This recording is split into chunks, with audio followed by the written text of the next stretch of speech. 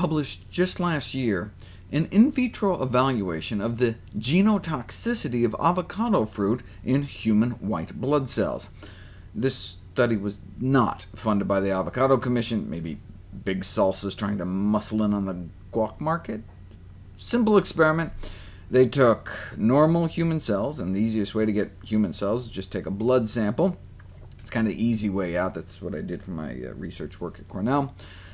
Then they took some avocado fruit, smooshed it up, uh, dripped a little bit on some healthy human white blood cells in a petri dish, and looked to see if it caused any DNA damage. It was not subtle. This is what normal healthy human chromosomes look like. This is your DNA. This is your DNA on guacamole. Chromosomes literally broken in half, terminal deletions, uh, disjunctions, translocation, all sorts of weird chromosomal abnormalities. This is the kind of thing carcinogens do. Conclusion. Their study suggests that extracts of avocado fruit can potentially induce significant genomic instability and some genetic damage in human white blood cells why did they say potentially induce? I mean, we could see it with our own eyes. Because it was an in vitro evaluation. These were human cells, but they were outside the body. Even people that love guacamole don't shoot it up like heroin, you eat it.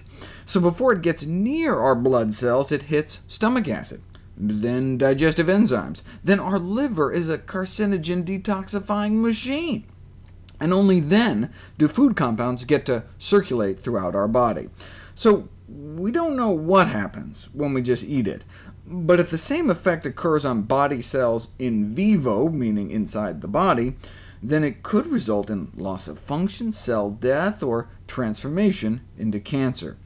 And if it did the same thing to our sperm or eggs, it could lead to infertility, abortions, miscarriages, or birth defects.